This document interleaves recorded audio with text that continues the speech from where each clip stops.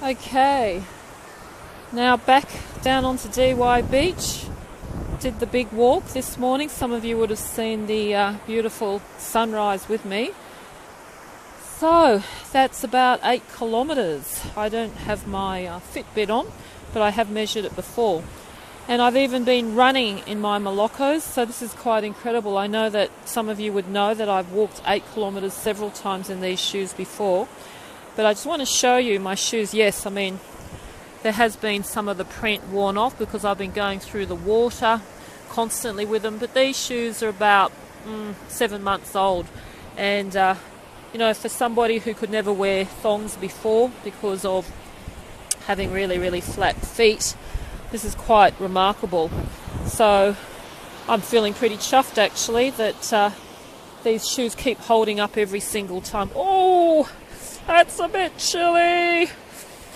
Quite refreshing though. So I'm pretty proud of the fact that uh, we've manufactured these shoes that can really stand uh, walking in such for such long conditions. Ah, here it comes again. Ah, ah, ah, ah, ah.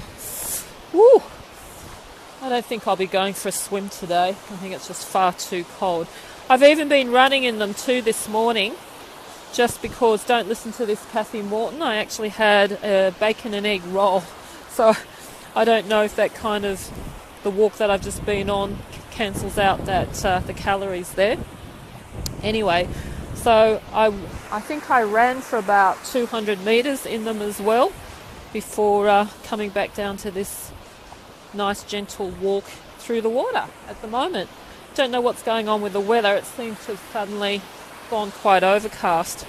But it's just been the most beautiful, beautiful morning. Stopping to have coffee, stopping to just sit and be in nature. I'll post some pictures of the beautiful pelicans that I got to speak to earlier this morning as well. Anyway, I just wanted to let everybody see how these Moelocos hold up and that they are extremely comfortable even after eight kilometres.